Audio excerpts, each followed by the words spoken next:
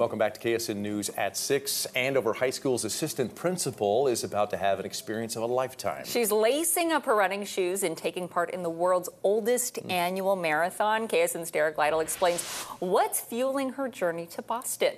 Jeff Julia Laura Scaglione says running in the Boston Marathon in front of 500,000 people will be the biggest race of her life. She began running 13 years ago as a hobby, something that she found joy doing.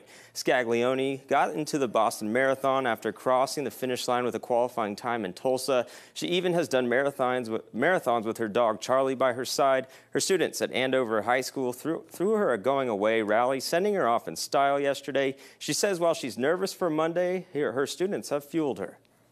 Absolutely. I think it's so much fun when you can connect with your students. Um, you know, all the kiddos at Andover High are so passionate about all the different things that they do, and um, it's fun to connect with them about something that you're passionate about as well. She says meeting other runners this weekend is something that she is looking forward to. Scaglione tells me that her students are expecting her to bring home that hardware and win the marathon, but she says just being there and winning it is a win in itself. Jeff, Julia.